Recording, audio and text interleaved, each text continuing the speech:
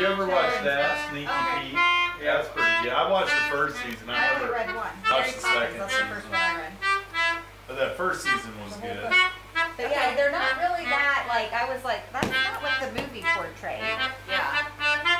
She's more, Yeah, she abuses her kids in she's the book. She's magical, but she's also not like She abuses the nice. kids in the book. I mean, no, she does Yes, she does. Have you not read the book? Have you read the books? not.